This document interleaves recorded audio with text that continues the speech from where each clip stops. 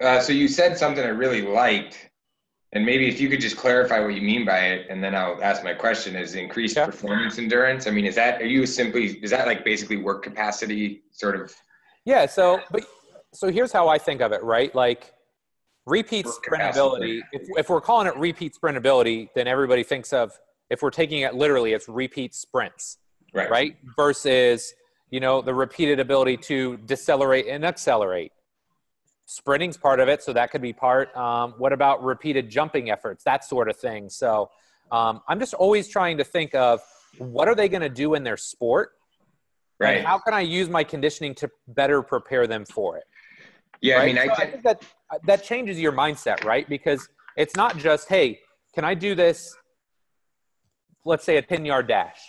It's not just can I do this for 50 reps or whatever without fatiguing. Like there's more to every sport than that. It's can I accelerate and decelerate? Can I jump repetitively when I need to? You know, like right. trying to think more in that that line and then if you do that then it makes kind of your target for where you want your conditioning to be that much easier because i think for a, a while when i started diving into the conditioning stuff like i just kind of followed like stuff that i could do in the gym right like a prowler push or something of that nature versus okay but like how can i make this again not sport specific but more contextual to what they're going to do.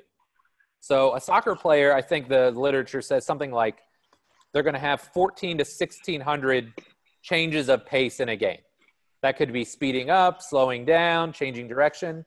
So it's like if all I'm doing in the gym to prepare them for sport is just pure sprinting straight ahead, I'd say I'm training the energy system, but I'm not necessarily training the body Yep. for the forces that are going to be involved in their sport or, or exposing Yep. them to what they're going to see in their sport.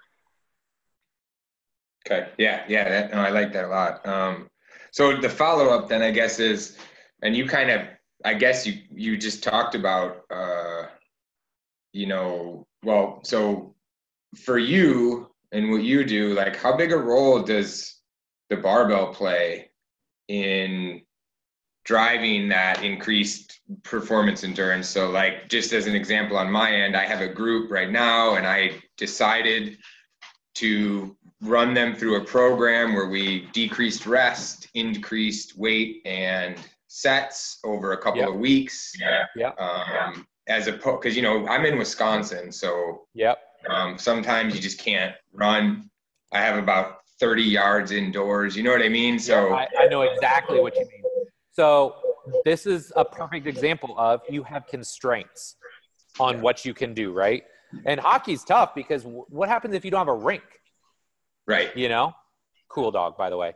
So it's it's like you you make you do the best that you can. Okay, so like if I didn't have access to all this and I had to do it in like a thousand square feet, then the barbell would be a lot better tool, and maybe we'd be doing like squat jumps or something like that.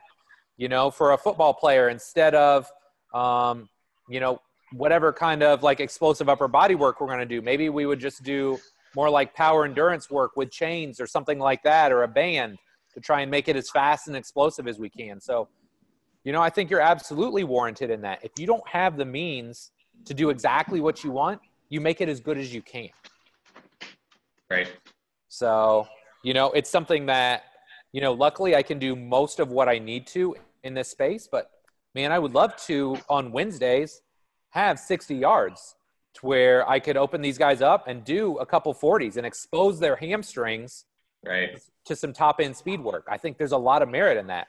But right now I don't have it, so I got to hedge my bets. I got to make sure my resets are on point. I got to make sure we're getting eccentric hamstring work in, you know, throughout the program. So I'm trying to hedge my bets in as many other ways as I can. But no, I think you're absolutely spot on, man. If you can't do exactly what you want, try and regress it back and say, okay, well, how can I make this as specific as possible with the tools that I have? Right.